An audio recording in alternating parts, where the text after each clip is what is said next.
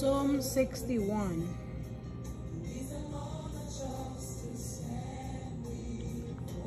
God, hear my cry. Listen to my prayer.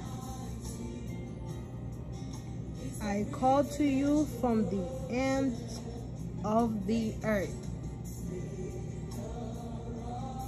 I am afraid. Carry me away to a high mountain. You have been my protection like a strong tower against my enemies.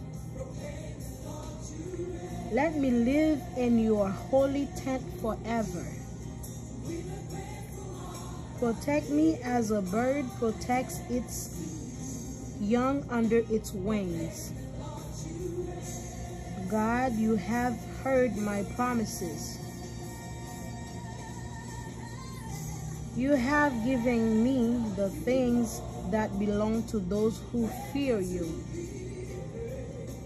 Give the king a long life.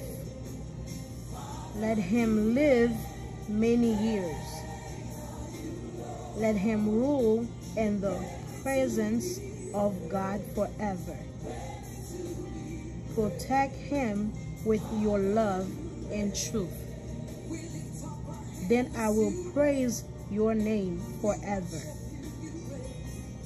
And every day I will keep my promises.